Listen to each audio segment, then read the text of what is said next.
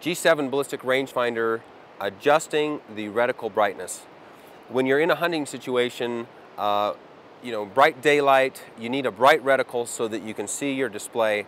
But when evening rolls around or early in the morning, uh, a lot of guys have used rangefinders in the past that have a liquid crystal display or a black display.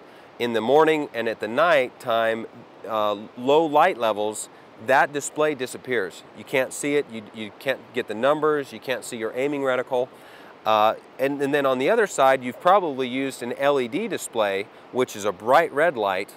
And in the low light situations with that reticle, uh, it's so bright that you can't see your target. So you, have got one, you've got one where the reticle disappears and one where the target disappears. Now the solution for that is to adjust the brightness of a backlit LED display. So what we're going to do is take a, a, quick look at how easy it is to adjust the brightness in the G7 BR2. We're going to wake the device up by pressing the fire button. Now to access the programming menu, we're going to press and hold the mode button for five seconds. That's my middle finger. Now there's three items that we can adjust there. The profile, the ballistic profile, the crosshair display, or the backlight. Now, right now the backlight's set up pretty nice. To adjust the backlight, I hit the fire button to edit that menu.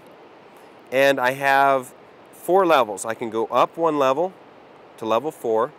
Uh, and I can also go down from level four to three to two and then to one. Now right now one's not showing up because this is daylight, this is bright, even though I'm pointing in the shadows.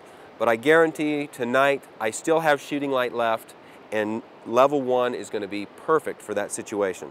So let's adjust this to level three and store it by pressing the mode button. That returns us to the main programming menu. Press the mode button one more time. That returns us to the fire menu. I'm ready to press the fire button and get a range.